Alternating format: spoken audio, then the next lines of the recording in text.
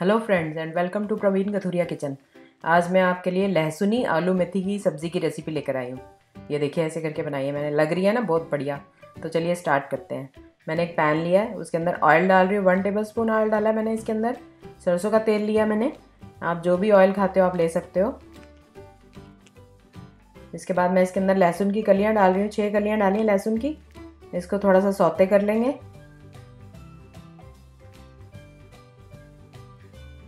इसके बाद मैंने मेथी लिया 250 ग्राम उसको अच्छी तरह से वॉश कर लिया था कट कर लिया था। अब इसके अंदर डाल रही हूँ। इसको पहले सौते कर लेना है। इसका पानी सुखा लेना है अच्छी तरह से। ये बहुत ही ज़्यादा टेस्टी बनती है सब्ज़ी और बहुत हेल्दी बनती है। ये देखिए, इसको अच्छी तरह से सौते कर रही हूँ मैं। आलू मेथी तो आपने बहुत तरह से खाई होगी बना के, लेकिन आप एक बार इस तरीके से बना के खाइए, आपको बहुत मज़ा आएगा। बहुत ही ज़्यादा टेस्टी बनेगी। और बहुत ज़्यादा हेल्दी तो है ही है, मेथी होती ही है।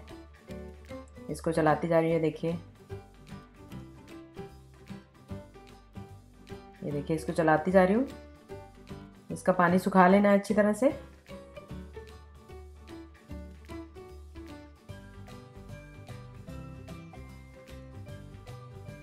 वैसे तो ज़्यादातर सब लहसुनी मेथी बनाते हैं, लेकिन मैंने आलू मेथी बनाई है, लहसुनी आलू मेथी।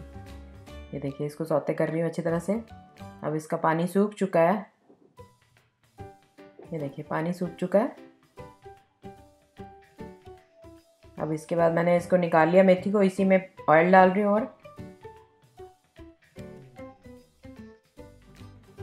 टू टेबल स्पून ऑयल डाला था मैंने, लेकिन मुझे थोड़ा ये ज़्यादा लगा तो मैंने कम कर दिया। ये वन टेबल स्पून ऑयल डाला है वन टीस्पून जीरा डाला है इसके अंदर। चटकने देंगे थोड़ा सा।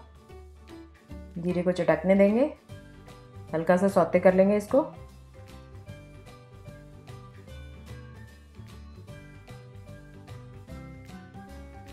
इसके बाद मैं इसके अंदर लहसुन चॉप करके डाल रही हूँ। बारीक चॉप कर लिया था मैंने लहसुन को। आठ दस कलियाँ मैंने ली थी लहसुन की, उसको चॉप कर लिया था। ये लहसुन ही आलू में थी है तो इसलिए इसके अंदर लहसुन ज़्यादा डलेगा। यानी कि गार्लिक ज़्यादा डाल रही हूँ मैं इसके अंदर। इसको भी हल्का सा सौते कर लेंगे। इसके बाद मैंने एक प्याज लिया था, उसको बारीक चॉप कर लिया था। वो डाल रही हूँ इसके अंदर। इसको भी सौते कर लेंगे, बहुत ज़्यादा फ्राई नहीं करना। और बहुत ज़्यादा लाल नहीं करना हल्का सा गोल्डन ब्राउन हो जाएगा। तो इसका मतलब ये भून चुका है बस। बहुत ज़्यादा भूनना नहीं है इसको। देखिए, इसको सौते कर रही हूँ, प्याज को।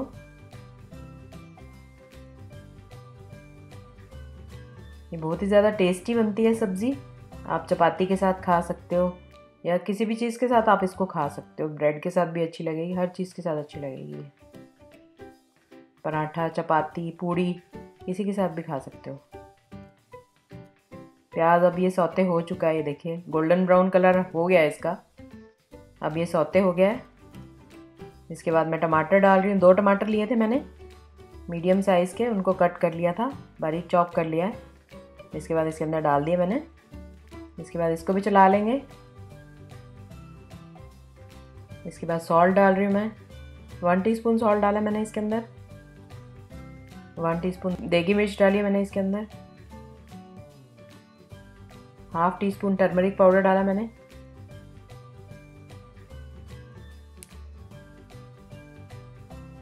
हाफ़ टी स्पून अमचूर पाउडर डाला मैंने।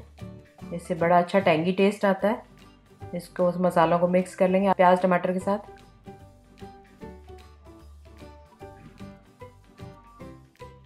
अच्छी तरह से इसको मिक्स कर लेंगे मसाले को। इसके बाद मैं इसके अंदर थोड़ा सा पानी डाल रही हूँ, ताकि ये सारी चीज़ें अच्छी तरह से मिक्स हो जाए और मसाले अच्छी तरह से भून जाएँ। अच्छी तरह से भून लेना है इस मसाले को।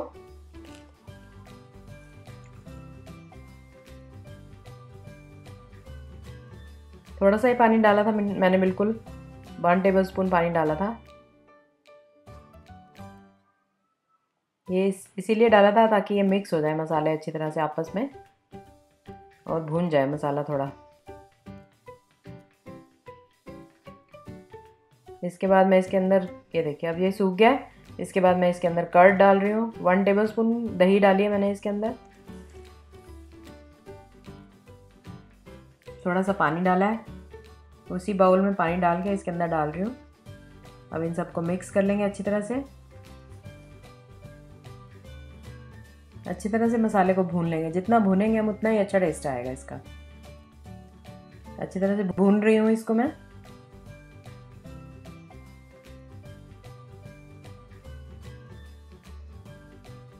पानी जो है अच्छी तरह से सुखा लेना है। तभी हमारा मसाला तैयार हो जाएगा। बहुत बढ़िया।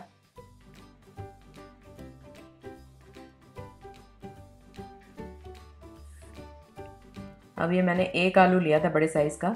उसको चॉप कर लिया था और मैंने एयर फ्रायर में फ्राई कर लिया था इसको। और ये अच्छी तरह से पक चुका है, क्योंकि पतला पतला काटा था मैंने इसको। एयर फ्रायर में फ्राई करने से पक जाता है। ये काफ़ी हद तक पक चुका है। बाकी और हल्की सी कसर जो रह गई है वो इसके अंदर ही पक जाएगा बाकी।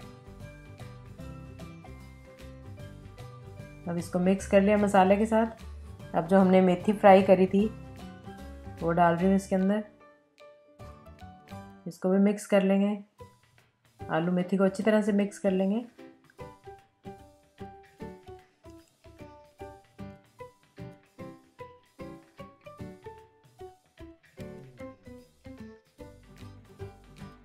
वैसे तो लहसुन वाले आलू भी बनते हैं अलग से, वो भी बड़े टेस्टी बनते हैं, बहुत टेस्टी बनते हैं। अब मैं आलू मेथी बना रही हूँ, लहसुनी आलू मेथी। ये देखिए।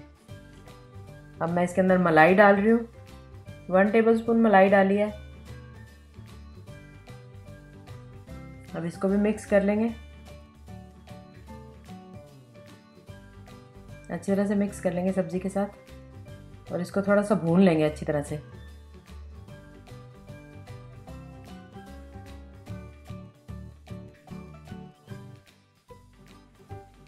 अब कोरिएंडर पाउडर डाला है हाफ़ टी स्पून मैंने इसके अंदर।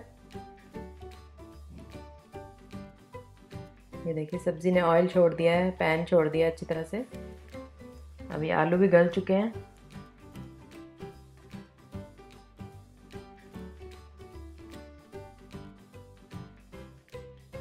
इसको भून लेंगे थोड़ा सा जितना भूनेंगे उतना ही टेस्ट अच्छा आएगा, ये देखिए।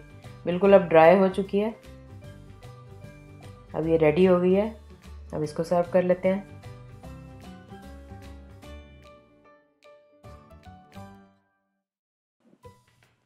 सर्विंग डिश लिया है, उसके अंदर डाल रही हूँ इसको।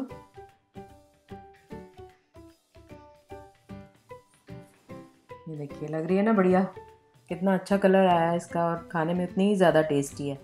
आप इसको बना के ज़रूर देखना और मुझे बताना कि आपको कैसी लगी। कमेंट ज़रूर करना मुझे।